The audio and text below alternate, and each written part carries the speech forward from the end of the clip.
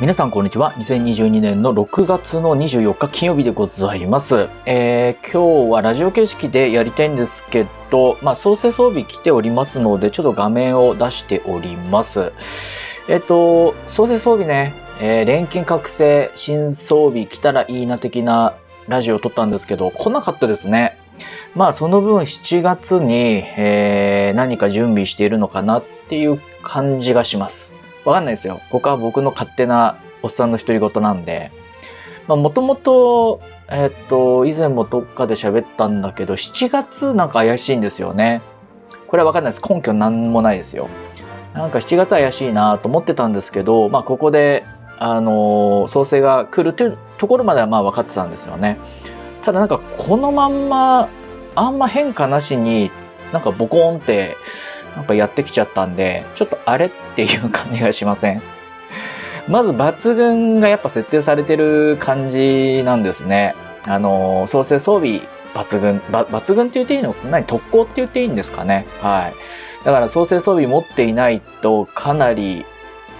まあ、ジオラーデス。で、その前にアスラーデスって言ったから、またアスラーデスやってきて、ジオラーデスやってきてとか、なんか、そういう展開が少しあるのかなと思ったら、本当なんか簡易版っていう気がしてね、あんまりパンチないなっていうような印象です。はい。で、えっと、創生装備、これ、まず、あの、引いていいのかどうかみたいなね、まあ話がもしあるとしたら、まあずっと星ドラやってる人はもう自己判断でできると思うんですけど、なんか最近始められた方とか、ね、たまにまあ聞かれたりもするんですけど、うん、創生はあんまおすすめしません。あの、まあ、プレイスタイルにもよってなんですけど、エンドコンテンツ行く人とか、侍やりたいっていう人は、かなり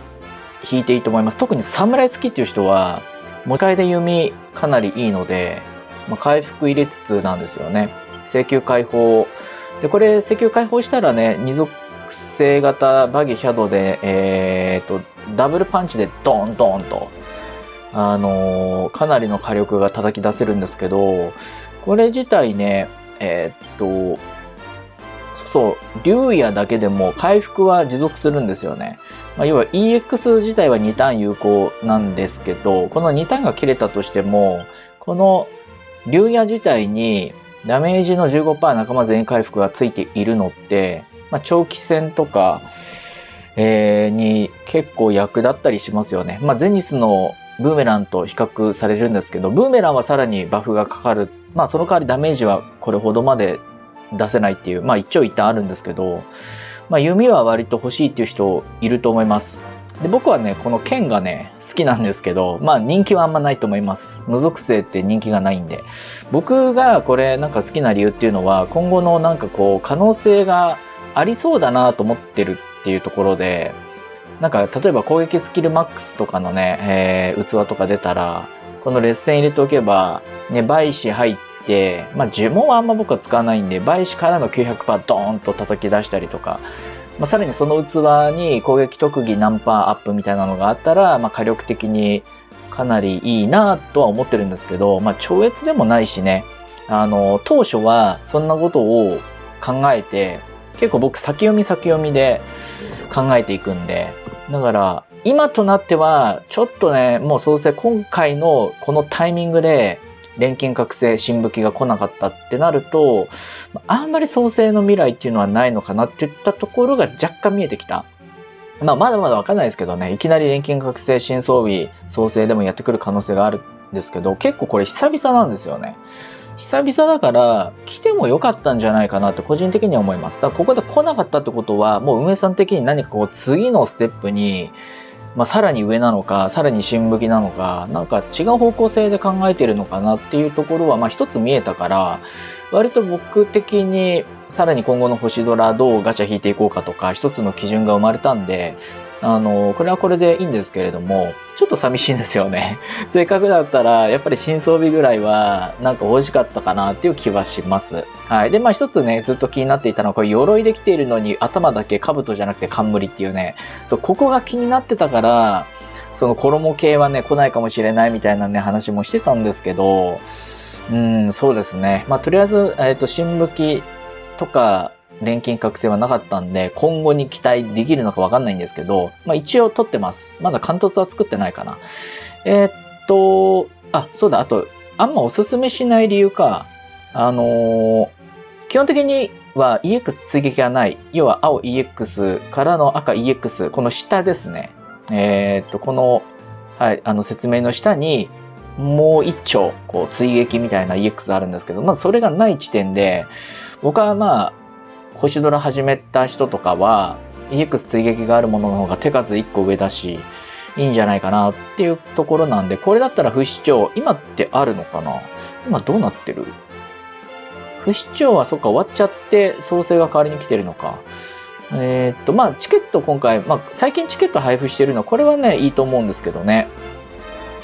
はい。えー、っと、そうですね。あの、EX 追撃があるものを引いた方が基本的にはいいかなと。僕もそれ一つの基準にしてるんで、もし今回創生で新しい装備が来てたとしますよ。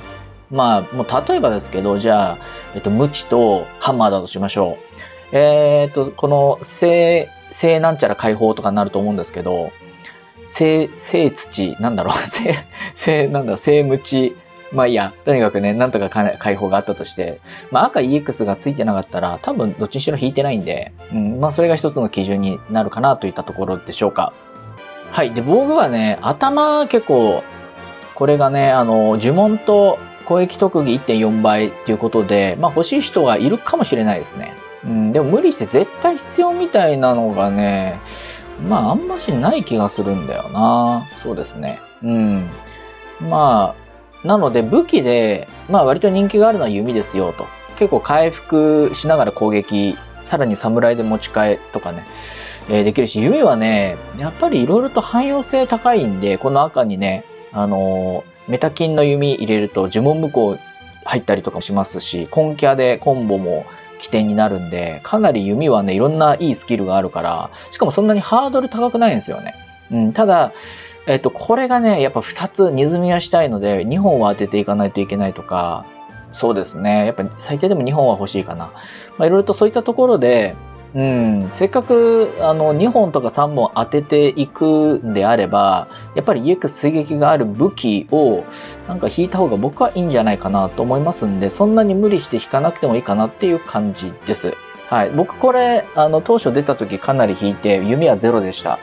剣に偏ってしまったんですけど、そそれでもいいやっていう感じかな。うん。弓は特にまあエンドコンテンツ最近行かないから使わないし、まああとは先ほど言った通りに剣に何かこうね、補正、まあ、錬金覚醒か入ればよかったなとは思ってるんですけど、今回全く来なかったんで、結構あんまりパンチのないような位置づけにある可能性がありますよね。うん。だってまた次さ、創生装備って、まあこのジオラです出してくるとしたら、まあ半年一年先とかだとして、そこまでね、待っている間に多分もっと有力な装備が出てくると思うので、うん、っていうような感想でしょうか。えっと、あと、まああんまり僕周回してないんですけど、結構ギガ電とかきついっていう話は聞いてます。で、そうですね、初心者さんには結構厳しいですよっていう意見が多いと思うんですけど、なんていうのかな、やっぱこういう復刻って抜群入っちゃうじゃないですか。僕ね、そこまで運営さんってね、なんかこう、新規さんを取り入れようみたいな、あんまり考えてない気がするんですよね。はい。だから、初心者さんがもしも、まあ、いらっしゃるんであれば、まあ、無理せずに遊ぶっていうのが一番いいと思います。そんなギガで無理していこうとしないで、まあ、長級回れる範囲で回ったりとか、伝説級回れる範囲で回るとかでいいと思います。